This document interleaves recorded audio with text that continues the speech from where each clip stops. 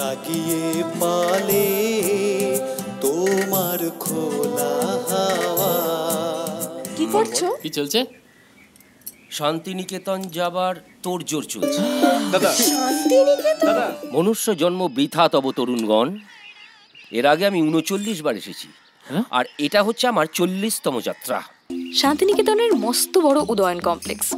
আর তার আশেপাশের সব স্থাপত্য দেখে একটা অন্যরকম ফিলিং হচ্ছে এটা ঠিক। কিন্তু রবি ঠাকুর বোধহয় এখনও এই জেনারেশনের ছেলেমেয়েগুলোকে পুরোপুরি প্রভাবিত করতে পারেননি।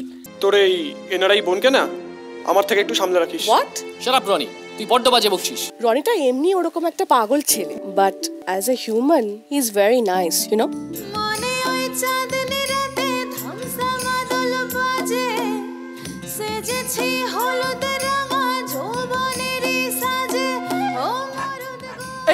এই দে একটু কি হলো? হেই তোরা কি খাচ্ছিস এসব? এই এসব মেয়েরা খায় না। কলকাতায় ফিরেই জিদ্দার সাথে আমরা পৌঁছে গেলাম জোড়াসাঁকো ঠাকুর বাড়ি। এই মানুষটার সম্বন্ধে যত পড়ছি তত অবাক হয়ে যাচ্ছি। আমার মন ভুলায় রে। গ্রাম ছাড়া ওই রাঙা মাটির পর